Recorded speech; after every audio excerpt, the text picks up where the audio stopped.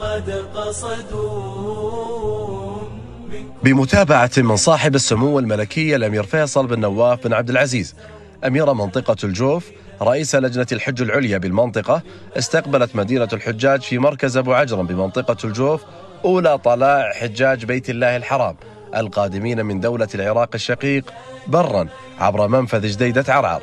وبلغت أعدادهم 1927 حاجا تقلهم أكثر من 30 حافلة. نحمد الله سبحانه وتعالى أن شرف بلادنا بخدمة ضيوف الرحمن. فمنذ عهد المؤسس الملك عبد العزيز طيب الله ثراه وحتى عهد خادم الحرمين الشريفين يولون المشاعر المقدسة وضيوف الرحمن كله اهتمام وتقدير. هذا اليوم استقبلنا الدفعة الأولى من حجاج بيت الله الحرام من دولة العراق. جميع الخدمات موفرة من وجبات من مصاحف من أي مستلزمات الخدمات الصحية آه، أي خدمة يحتاجها ضيف الرحمن موجودة هذا اليوم قدمت له والحمد لله.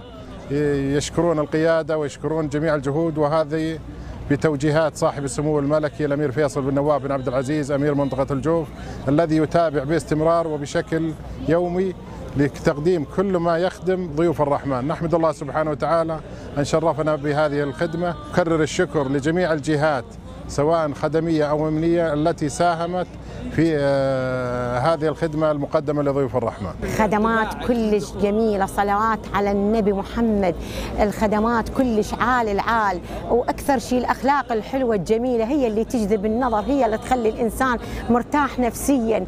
الراحة النفسية اللي شفناها هنا والخدمات المقدمة إن من كل الأنواع المشروبات الماي زمزم القرائين التقديم الهدايا كله كله كل شيء جميل كل شيء جميل. والله نعم القيادة اللي اللي مخلفة هيك خلفة اللي هاي الخدمات اللي مقدمتها للزائرين.